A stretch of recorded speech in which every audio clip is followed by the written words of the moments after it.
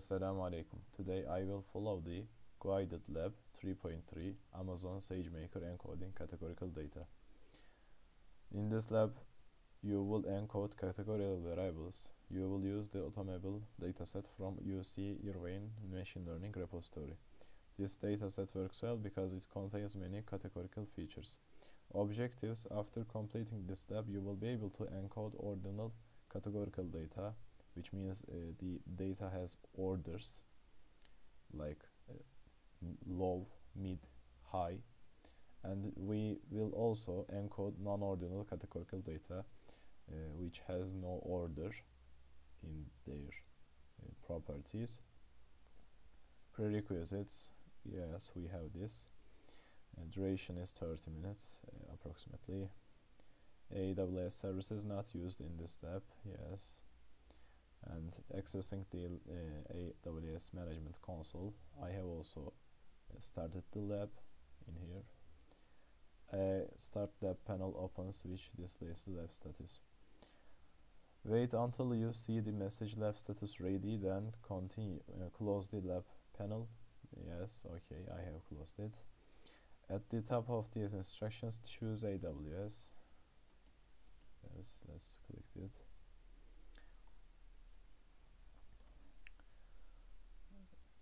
Okay.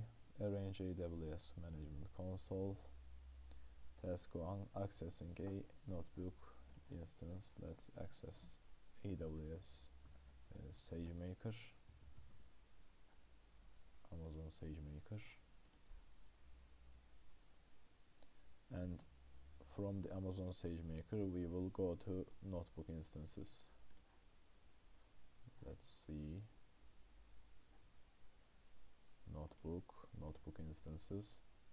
We have our instance in here. Look for the my notebook open the Jupyter Lab notebook instance.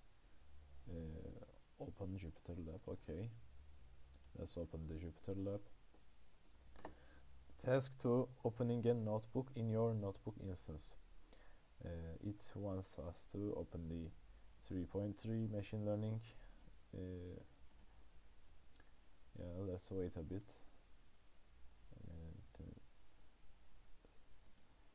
okay. And after opening that file uh, we will follow the instructions in the notebook and we will complete the lab. After the completion we shall end the lab and uh, that's it. So um, in here I will choose the Conda Python 3 Lab 3.3 Student Notebook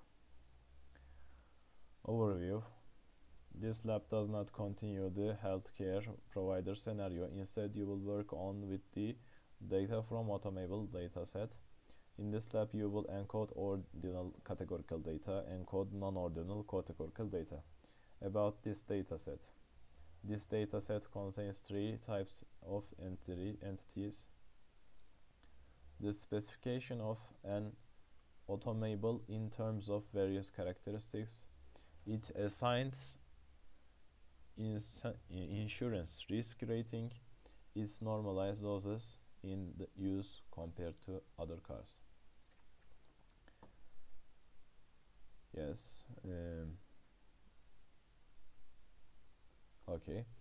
Uh, the second rating corresponds to the degree to which the automobile is riskier than its price indicates. Cars are initially assigned a risk factor symbol that's associated with its price. Then, it's eh, if it's riskier or less risky, the sample is adjusted by moving up or down with the scale. Actuarians call this process symboling a value of plus 3 indicates that the car is risky, a value minus 3 indicates that the car is probably safe. The third factor is the relative uh, average loss payment per insured vehicle year. This value is normalized for all cars with a particular size classification, two-door small, station wagons, sports or special uh, specialty and others. It represents the average loss per car per year. Note several attributes in the database could be used as a class attribute. Attribute info information attribute range. Symboling is uh, from minus 3 to plus 3 normalized losses continues from 65 to 258 and uh, fuel type diesel or gas, gas uh, aspiration CTD turbo number of doors 4 or 2 body type hardtop wagon sedan hatchback conventional drive wheels 4VD, VVD, RVD, engine location front or rear, wheel base continues from 66 86 to 120.9 length continues from uh, this range okay? Width is continues from this range height is from this range uh, curb weight engine type we have Dodge Dodge C V I Och of uh, some other things. I don't really know these uh, number of cylinders yes 8 4 5 6 3 12 2 engine size continues from 61 to 226 fuel system 1 bb etc bore yes stroke. Compression ratio horsepower. Peak rpm city mpg highway mpg price is from 51 uh, 18 and 45,400 yes. Dataset attributions uh, this dataset was obtained from Dua D and Graff C uh, uh, in 2019 UCI machine learning repository is in here. Uh, it's linked in here. Uh, Irvine CA uh, University of California School of Information and Computer Science. Step one is the importing and exploring the data as always. Uh, you will start by examining the data in the dataset to get the most out of the lab. Read the instructions and code before you run the cells. Take time to experiment. Start by importing the pandas package and setting some default display options. Okay we import the pandas as pd we set the max rows as 500 max columns is 500 display width is uh, 1000 let's see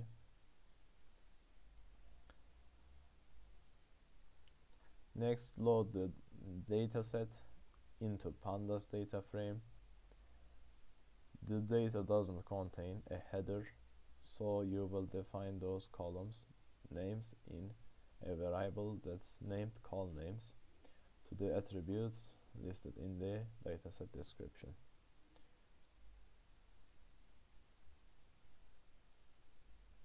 Okay. The URL is import 65 CV column name symboling yeah these are the attributes that we have uh, just mentioned earlier. Read CSV URL um, separator is comma separated values we have. Uh, names are column names. NA values header let's see. Okay. First to see the number of rows instances and columns features you will uh, use shape. Okay let's see the number of columns and rows. And we have 205 uh, samples and we have 25 attributes okay that's really good next examine the data by using head method. Let's see the fir first five uh, records. Okay, we have symboling and other uh, attributes in here.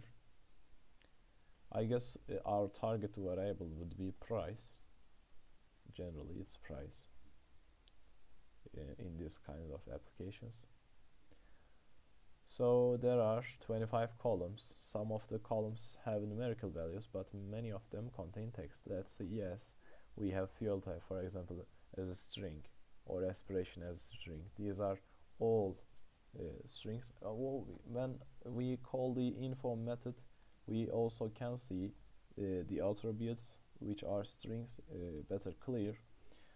For example, the fuel type, since uh, object, object means uh, generally string.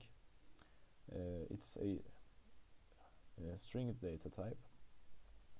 Aspiration is also, we shall need to uh, extract these uh, features into, uh, we need to encode them to our machine to understand. So it's hard for our computer to process string data types, we generally uh, encode these values into a categories so that it can easily be processed by our computers. To make it easier to view the dataset when you start encoding, drop the columns that you want to use. Okay, let's let's see the columns. We have many columns. And since uh, we are going to for example uh, use these four attributes we shall list those yes we now have four columns. Let's and see the result. We have these. And um, by looking at the data in here I would say that uh, number of cylinders is definitely ordinal data. And also number of doors is ordinal. Um, drive wheels I don't really know what drive wheels so and aspiration would be um, non-ordinal I would say most of machine learning algorithms require inputs that are numerical values. Yeah, computer understands uh, numerical values, so that's why we need to encode these. The number of cylinders and number of doors, yes, number of doors and number of cylinders uh, features have ordinal value, yes, I have just said that. You could convert the values of these features into their numerical counterparts yes. However in uh, aspiration and drive wheels. Uh, yeah we can easily convert these co column into 4 is directly converted into integer 4 for example. However in the aspiration and drive wheels we don't have ordinal value. Yeah we need to use uh, for example one hot encoding would be good I guess. These features must be converted differently. You will export the ordinal features first. Yes, let's go for the ordinal values first.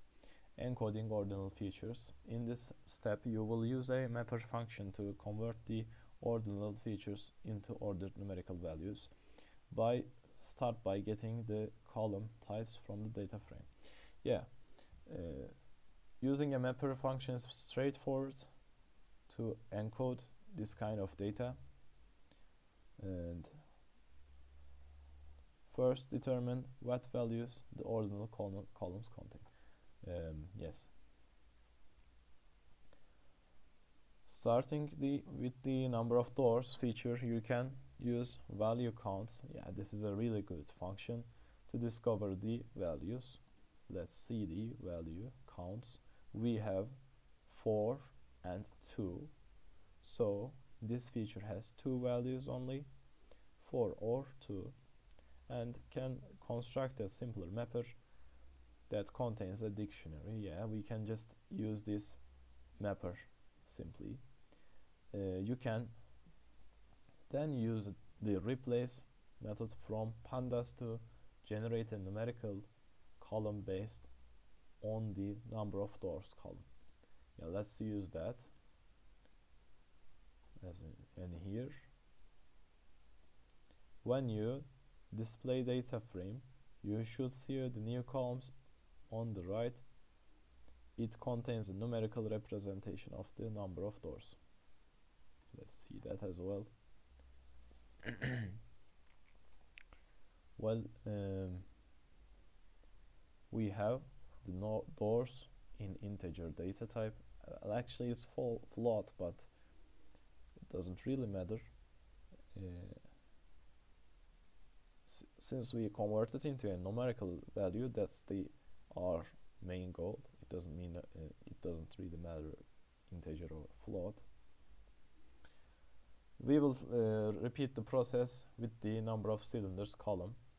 Let's first get the number of values value counts we have 4 6 5 8 2 3 12 and we will use uh, 2 3 4 5 6 and 8 and 12 to construct a cylinder mapper let's do that.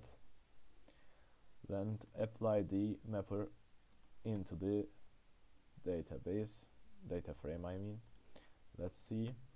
We have converted successfully the values into its corresponding uh, integers.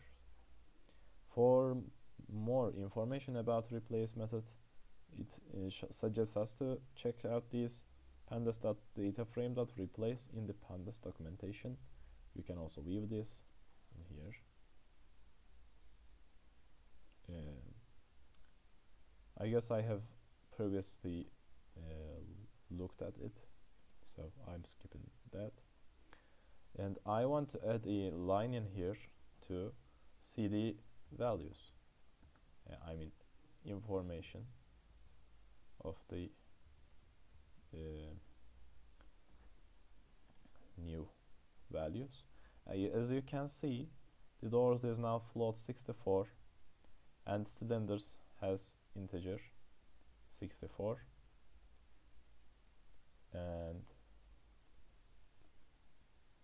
and we have uh, all these values.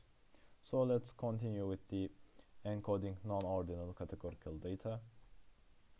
In this step we will uh, encode non-ordinal data by using the get dummies method from pandas the two remaining features are non not ordinal yes aspiration and drive wheels are not ordinal according to the attribute description the following values are possible. You might think that the correct strategy is to convert these values into numerical values. For example, consider drive wheels feature.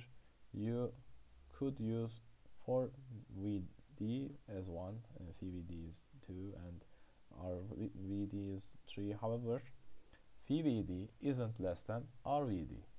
These values don't have an order but you just introduced an order to them by assigning these numerical values.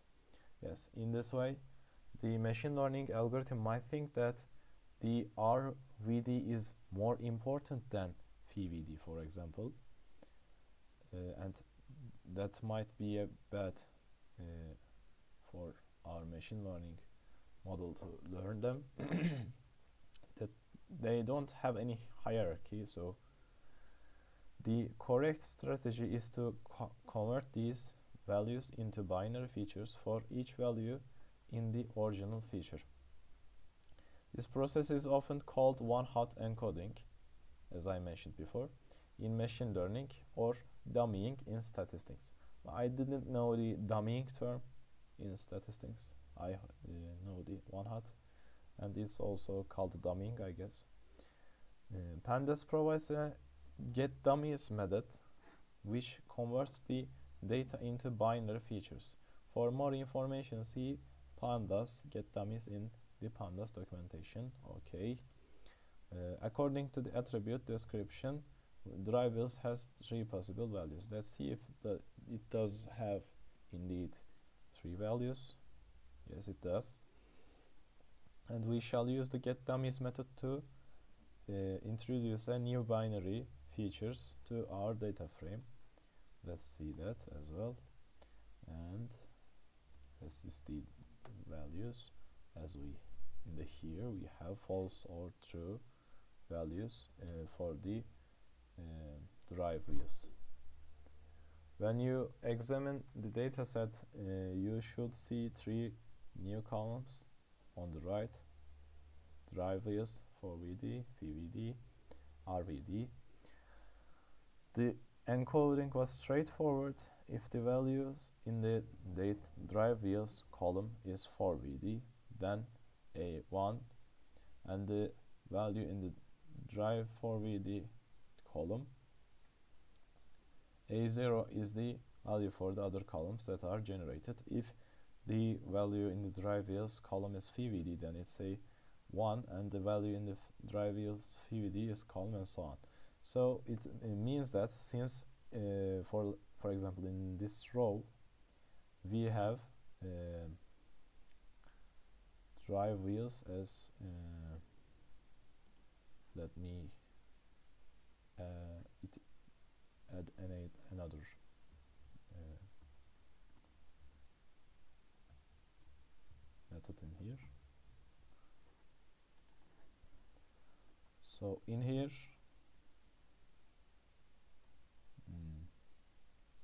oh uh, yeah it's already converted it so I use I need to use this one I guess.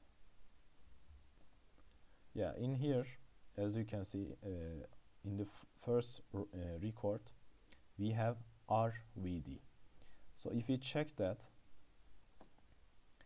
in the first row RVD is set to true and others are false which means this one is for example 1 and these are 0 and this is what why it is called one hot encoding. The number you have the property you have is encoded as 1 and others are 0 so that's one hot so okay we have uh, talked about these. These binary features enable you to express the in expressing information in a numerical way without implying any order. Examine the final column that you uh, will encode. Yes we will finally encode the aspiration. So uh, the, in the aspiration column has only two values std and turbo. You can encode this column into two binary features. However you could also ignore the std value and uh, record whether it's turbo or not. To do this yeah this is very uh, logical. Uh, that way we don't need to uh, keep track of two columns. To do this you will uh, still use get dummies method by specifying drop list as true. Drop first I mean. Drop first is true. Okay let's see. Let's get the value counts in here. We have std and turbo.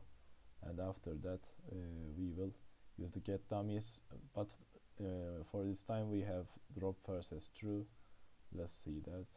Uh, and in here, here we have just have the aspiration turbo force or true uh, challenge task go back to the beginning of this lab and add other columns to the dataset how would you encode the values for each column?